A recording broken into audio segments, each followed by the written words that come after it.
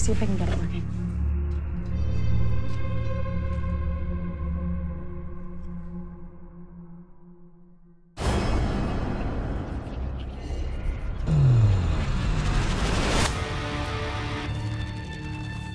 What is all this? Black magic rituals. They are opening the gates to hell here. And I'm telling you, Parsons, he's at the center of it.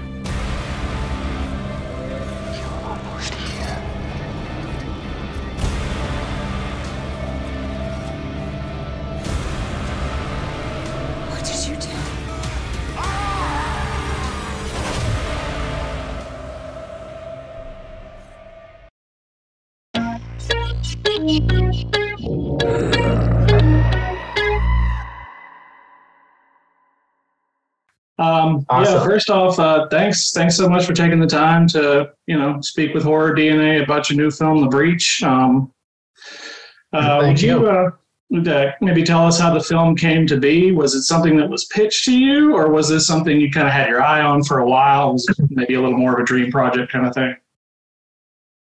Well, what what happened was um, this was right in the middle of the pandemic, uh, 2020.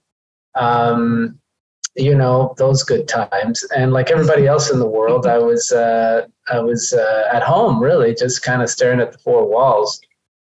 I mean, I was doing stuff, but you know, I was I was it was lockdown all over the whole, you know. Uh, and then I got a call from uh, Mike Paszt from Raven Banner. He just said, "Hey, we have this script. We want to be the first people to kind of be shooting, um, you know, in times of pandemic. And um, are you uh, are you? Oh, just a moment. Oh, hey. Okay, go downstairs. I'll be right with you. Sorry, that's my. It's my little boy. He just walked in. I understand. A- anyway, so uh, where was I? Yeah, so they, you know, they they just kind of, uh, you know, Mike was like, "Hey, read this and tell me what you think." And we want to be the first, you know, one of the first productions to be shooting. Um, and you know, my first res- my first thought was like, "Oh, please, I hope this doesn't the script doesn't suck because I'd love to obviously be shooting a movie. You know, that sure, nothing's yeah. happening in the world. I'd like to do."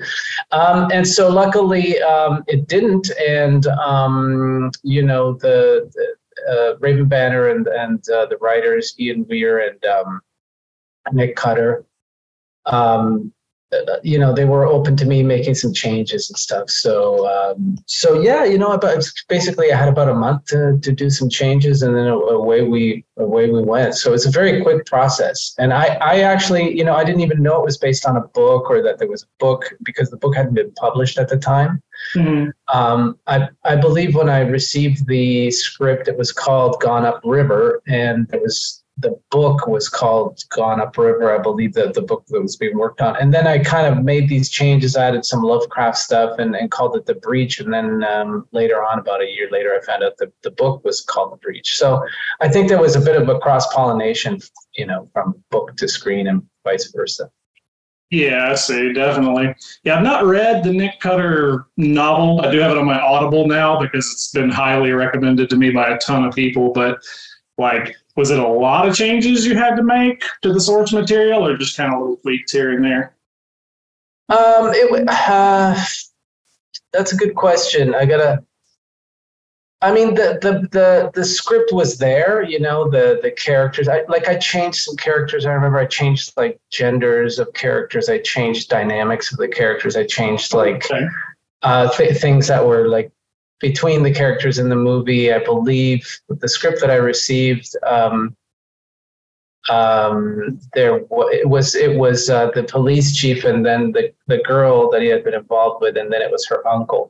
Mhm. So I, I changed the uncle to a previous level. I mean, You know, he was the mort- mortician and stuff. So I, I kind of added some some dramatic elements, and then I do, if I remember correctly, the script had a lot to do with um, people sort of turning into bugs. So it was very much about a bug thing.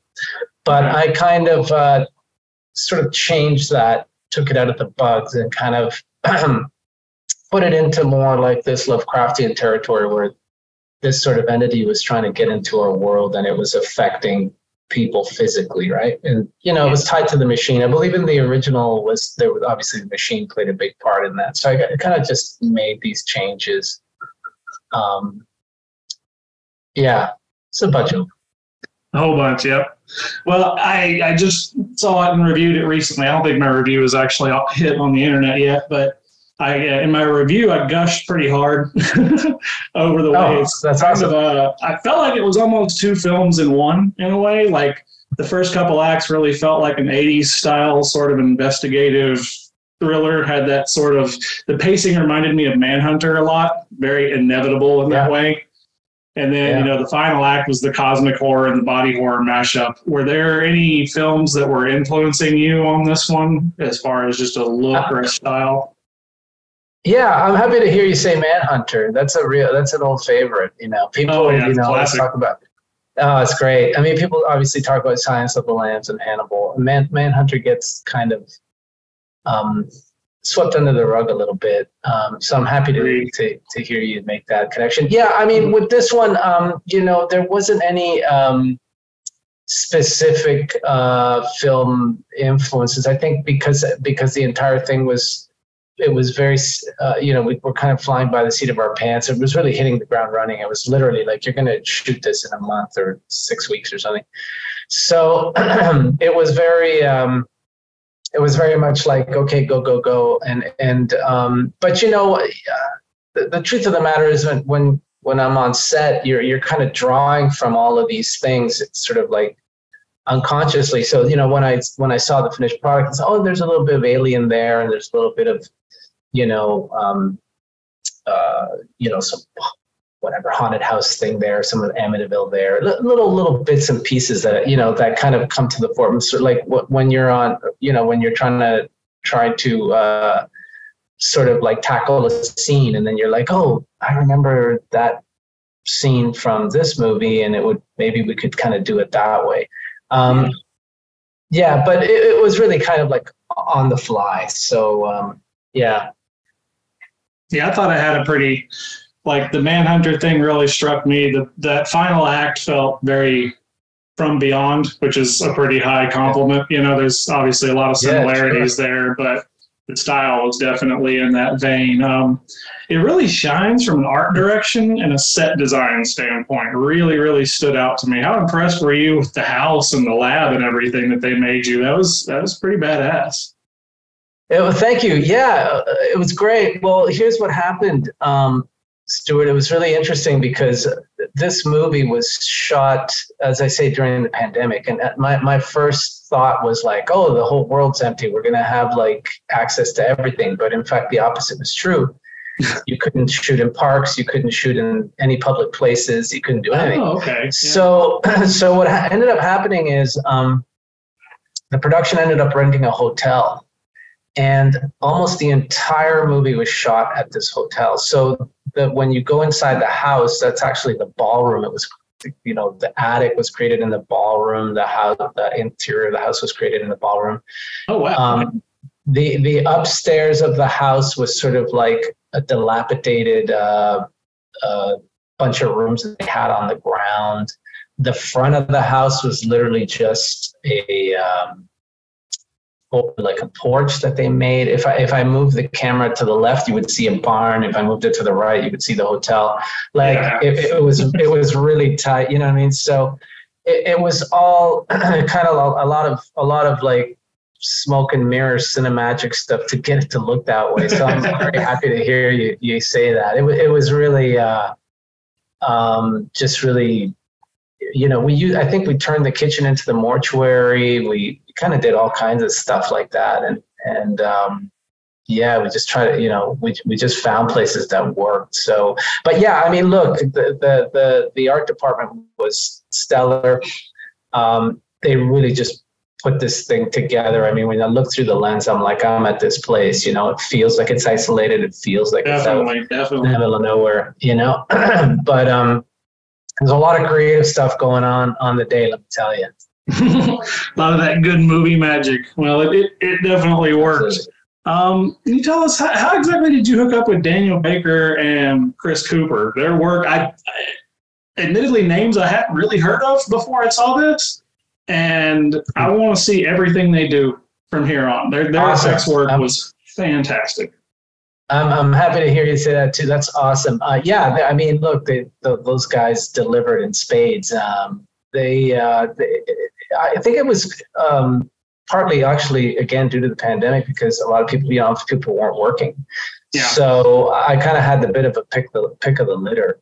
Um, and uh, the you know uh, Daniel, I worked very close with him um, to come up with all. I mean, he just you know I would give him an idea and would talk it through, and then he he would show up with these incredible busts and casts and stuff. I mean, it was Yeah, unbelievable. And, I, and and for me, it was really important to to have that kind of yeah, it was like an 80s horror feel to it, in camera effects, old school effects. Well, Um, and you know, one of the reasons too, what, yeah, practical. I, you know, one of the reasons too, I thought, you know, I believe in the script we had the, I think it was an all nighter, but I thought, you know, we should do, we should get into the daytime and bring these creatures out at the daytime, you know, and just kind of like Mhm. get it really, you know, just just add a different tone to this movie and and really kind of like um uh you know give give the audience uh the the groceries as it were but you know like get them to get a good look at all these creatures and stuff. They but they, they were just so beautiful and they put such so much work into them. So i'm glad i'm glad you dug it Yeah, definitely names I'm not gonna forget anytime soon, even though I hadn't heard of them before. They were amazing. So that's a good excellent call. yeah For uh, you know, for a movie that really kind of loses its mind in the last act, I mean that in the best way possible. But for a movie that's that's Yeah. so starkly one thing in the first two acts and it's something different in the the final act, I thought it was really restrained, if you will, and kind of patient throughout in terms of the character building and the setup and everything. How important do you feel it is to let the audience's mind fill in the blanks? hugely hugely important if you've ever seen any of my other movies i kind of err on the side of letting people do that i think that's kind of like um, really the magic of cinema where people can participate um, if you i think it's important that you don't as a director as a filmmaker you don't tell people necessarily where to look even in the frame where you don't make it Mhm. obvious and you let them explore the frame and you let them kind of Check out the background. Lose- yeah yeah and, and kind of like lose themselves in the movie a bit and kind of you know um, so so it's really important to me i, I you know when i watch some of these uh, sort of more uh, blockbuster films or whatever where where everything is you know what center frame i get i get really bored because my imagination doesn't kick in you know Mhm. um, so um, I think that's what when people always say, you know, that the book is always better than the movie or things like that, because their imaginations work. They're they're contributing so much to the story. Yeah. Um, you know, you know, uh, and um, with, with the film, it's obviously less so, but it's it's. I think it's really important to uh, to keep that in there, keep that in the balance, because otherwise, you know, if people aren't participating imaginatively with your work of art, then what's happening? They're just it's, it's just a commercial, really. Very true, very true. It's like that old thing joke about the Texas Chainsaw Massacre. Everybody thinks it's a much more graphic and violent film than it is, but their brains are actually filling in a lot of the spaces and making it look so so nasty. Yeah, that's that's an important step. Absolutely, yeah. Eh, Yeah, also like uh, you know, Alfred Hitchcock was a master of that. You know, there's so many people would swear that they saw the knife go in and Janet Leigh when in, during the shower sequence, but Yeah. there is no, you know, it's just all sound design and the juxtaposition of these images. I mean, you know, you see you see what you think you saw, right? So Yeah, touche. Even better example. go. So, as our um, viewers may or may not know, of course, you're the founder of Rue Morgue Magazine. Uh, it kind of goes without saying you've seen a lot of horror in your time Yeah. now. Since the movies, late yeah. 90s, I think it was like, what, 97 when you founded the magazine. Um, Yeah. in this crop of people we got going now, who are a couple of your favorite kind of up and coming directors that maybe a lot of people haven't really heard about yet? well, I do like the Adams family, not the Adams family, um, you know, the Adams family you know, but the Adams, um, there's a, an actual family. I believe it's two daughters and mother and father. Yeah. they are making movies independently, like out of their house. Excuse me. Um, they made a, a, a film during the pandemic called Hellbender, Hellbenders or Hellbender. Um, Oh, really okay. I reviewed that Yeah. film. Yeah, I know what you're Yeah. talking about. Definitely. It's good. yeah, yeah, yeah. It was really great. So I really think that they're poised to do some really interesting stuff. Um, for sure. I, I was, uh, uh, yeah, just kind of how they put that together. I thought that was really, really fantastic. um, you're probably meaning more independent people, and um, it's that other. Oh, geez, I'm, I'm, uh, you put me on the spot a little bit here, but. Uh, um, uh, what's his name? Um, he did the Harbinger. Actually, we put that on the cover of Morgue, I believe. Um, Andy Mitton, I want to say, New York guy. Okay. Uh, okay. He's done a lot of done a lot of movies. Um, interesting filmmaker for sure. Very interesting filmmaker. Um, you know, he's obviously um, very very devoted to the genre and has you know is slowly building up his uh, his uh, repertoire of movies. I think he's he's going to be doing some. Um, it's just a, a guy to keep an eye on for sure, just to see what what he's Very doing. cool, So very very cool. very interesting. Yeah. Yeah. Yeah, in, in in prepping for the interview, I mean, I, I read Rue Morgue like everybody else, but I didn't actually realize how many different forms of media you guys have your hands in between films, the music albums, podcast, radio, conventions. Um, outside of the films, obviously, which is a big focus for you from the magazine side and everything, is there any one of those like what's your kind of pet project right now outside of the films on the Rue Morgue side of things? Like, what are you really getting into right now? Well, I do like the um, like overseeing the entire brand is what's interesting to me, you know, and sort of and, and sort of like the, and d- kind of directing it. You know, it's kind of that's what I do. So I'll, I'll direct a movie, but in a way, what what I do with Morgan is directed as well. So I work with Andrea very closely with the magazine. I work with the uh, on the Rue Morgue TV side as well with the team there. There's uh, you know the various screenings and expo that we have. Actually, the expo I've taken a bit of a of a, a step back from that. Um, I didn't enjoy that as much, but uh, you know, it's still it's it's obviously an important thing that we do. Um, and um, yeah, it's just kind of like managing it from the top and just making sure that um, we're going in the right direction and. Uh, yeah, that it's uh, that it's exploring the avenues that uh, that it needs to explore, right? That know, Yeah. it stays current and it stays fresh, and there's new blood and there's fresh blood, and you know that kind of thing. And nice and diversified. yeah, yeah, nice and diversified, and yeah, for sure. It's not, you know, it's not easy. It, it's not.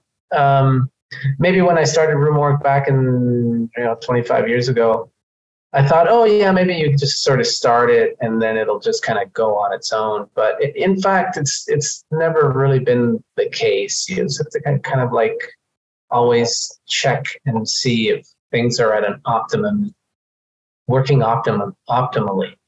Yes. Okay, outstanding. like a car, you know, you have to keep checking it. yeah, you gotta gotta gotta do the maintenance, that's for sure. Yeah, Yeah, make but- sure it's going in the right direction. well, I, I, I do come to one of the inevitable questions, but not exactly the way everybody else would do it. I have heard what your favorite movie is, but I like to ask personally, not your favorite movie so much as if you had a Mount Rushmore of four particular films, which are the ones that influence you the most? Don't have to be horror, just Oh, the four films for Yeah. you that like make up your sort of style and yeah, headspace. You know what I mean? yeah, absolutely. Well, that's an easy that's an easy uh, answer because uh, back when I was, um, I would say around eighteen, between the time I was around seventeen and nineteen, somewhere in there, Mhm. I used to watch uh, four films religiously, like sort of over and over. Okay. just kind of over and over. Uh, those films were The Shining by Stanley Kubrick, um, Blue Velvet by David Lynch, Fuck yeah. All right. Scarface by um, uh, what's his name now? Why am I forgetting his name? Um, Brian De Palma. Yeah, De Palma. Yeah, Yeah. right. Yeah. and um, and uh, uh, the uh, uh, the Godfather. So I kind of cheated because there were three of them. Uh, but I, I would I would just uh, well at that time there were only two actually. I think the third one came later. But um, um, I would just watch these movies over and over. yeah. Um, yeah, like you know, on the weekends I would watch the movies. I mean, you know, back then uh, too, the you know, home video was a huge thing still, and so a friend and I, you know, we would obviously go in there and we just take all the horror movies we could. We could we watch garbage horror movies, watch the best, you know, but we discovered all swipe kinds the of shelf stuff. into you know. the cart. Yeah. Oh, absolutely. And then just watched, we just committed to it. Like even the stuff was trash. We would just be like, yeah, let's get through this. And, uh, and of course we ended up discovering some great stuff. And, you know, I, I mean, I knew Romero's movies, but I didn't know, I'd never seen Day of the Dead Uncut or anything like that. I'd never seen, you know, Yeah. um, and so, uh, you know, some of his other stuff, all, all of Carpenter's stuff, obviously, uh, you know, just just uh, getting really into all the all the classic genre stuff. Um, so, um, you know, but in between that, you know, on weekends it, it would be like, okay, let's throw on Blue Velvet for like the 40th time, and you know, it, it was like. Um, even, I saw Blue Velvet about maybe I don't know. I want to say four years ago or something, five years ago, and Oh, I couldn't. See, I, yeah, like I couldn't see it with a clear eye. I, I'd just seen it so many times that when I saw it, I was remembering how I was when I was like 18 and 19 years old. Sure. So it, it was like a, t- you know, and the same thing with um, with The Shining to a lesser extent, um, because I saw The Shining more times over over the years, and Scarface as well. Um, but yeah, so it was um, it was a really exciting time. You know, early those early years, you know, you you kind of feel like you can do anything, and you feel like ah, you know, like maybe I'll be a filmmaker, maybe I'll try. What kind of movies do I want to make? And you know, there's like that innocence of of uh, coming into it so fresh. I think you know, Rue Morgue taught me a lot about the genre, but also. Um, uh, once you see a lot of horror movies too, you kind of, you, you know, there's a tipping point where I think it's it can it can be not in your favor as a creator. I would say let me put it that way. it's a good way of putting it. Yeah. Yeah, it's not as constructive. And you might be sort of limiting yourself and going, "Oh, this is what the genre is about," and I'll stick to that. Um, so yeah, at some point I deliberately, uh, what I would do is I would just kind of like ask the staff all the time, "Hey, what what's the great movie that came out?" And I would only watch the great ones, at least what they told me was great. Um, you know, and I would just kind of avoid all the other ones. Um, there's another filmmaker I wanted to tell you about. His name sure, yeah. is um, Demián Rugna. He's from Argentina. He did a movie called um, Aterrados, which mean, and I think they, they, they translated it in English as terrified, not terrifier, but yes. terrified. Oh, terrified. I'm picturing the cover in my head. It's got the yeah, freaky looking Uh, like corpse looking thing on the cover. Yes, that Uh, I did actually watch that movie. That was the um, it had that really horrible bathtub scene in it. If I'm if that's the one Yeah. I'm thinking of. Yes, the- that movie the, is The girl is smashing. Yes, Yeah, yes. yeah, yeah, yeah. That movie is utterly that- screwed. I love it. Yeah, yeah, yeah. So I, I think that guy for sure. He's definitely uh, another person to keep an eye on for sure. Awesome, right on. Well, you got the two features so far. I'd say you're batting a thousand between Rosalind Leigh and The Breach, both excellent films. Oh, so, thanks. As a filmmaker, you know you've always got a lot of uh, irons in the fire, so to speak. So, I guess the inevitable last question is which uh, which iron's the hottest right now for you? What are you doing next? Uh, well, I have this new company with uh, with uh, Slash and some of the Raven Banner guys. Uh, it's called Berserker Gang. We just launched, and um, so there's a bunch of stuff in there. Um, that's me going to be uh, well doing more production, sort of, sort of like producing rather. Um, and me as a creator, as a, as a filmmaker, there I have this Spanish language horror film, which I would say is the hottest uh, iron in the fire right now. Oh, okay. Um, I can't tell you too much about it, but it's very sprawling, very. Um, it's sort of like it's a police procedural with a lot of creatures, and it's in Spanish. Um, I think I think it's, uh, it's quite scary. I think I want to make it scary. so uh, yeah.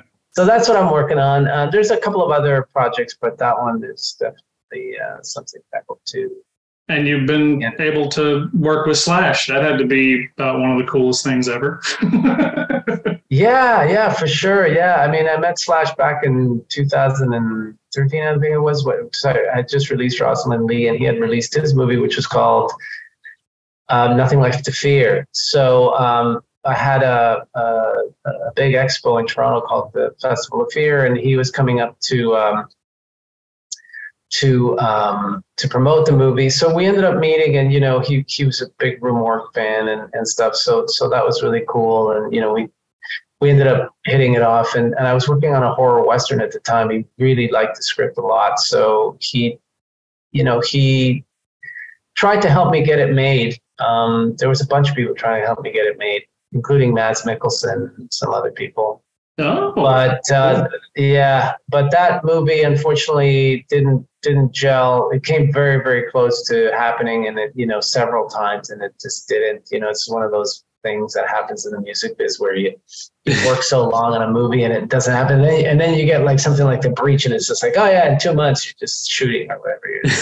Um, so, um, but anyway, I mean, it, hasn't happened yet. I would say. Um, but uh, so it was really cool that you know once uh, sort of the breach came, you know, uh, fell on my lap and uh, reached out to him. He was like, "Yeah, let let me look at the script," and he dug it, and he had time to do some music for it, even though he was like rehearsing for this enormous uh, Guns N' Roses uh, world tour, you know.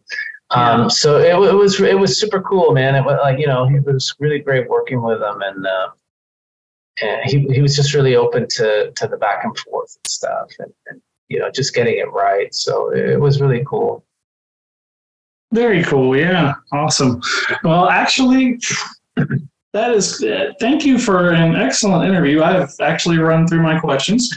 Awesome, that's great. Oh, this has But been thank, fun. thank you so much for speaking with us, man, about the breach and everything. Um, like I said, I'll, I'll hit you some links and stuff. My review will be up soon, but it's it, it, it, it glows. It was definitely one of my favorites Awesome. I've seen this year, and I've seen some pretty. There's been some pretty good ones this year so far too, so that's definitely saying something. Well, I really appreciate that, Stuart. That's that's an honor, and uh, it's it's awesome. Uh, I, I love hearing stuff like that. Obviously, you know, it's a filmmaker, but uh, I look forward to your review, man. And and uh, when this comes out, is this going to be like a, a print thing or a, a Uh, it'll it, we put it up on like our YouTube channel and stuff like that. oh, okay? So yeah, Okay, cool. it, it'll be out there on YouTube and linked through the website. I'll hit you up though, definitely. Excellent, excellent. Well, thanks, man. Thank you so much, Rodrigo. You have a good one, man. It's good talking to you. All right, ciao. Take it easy.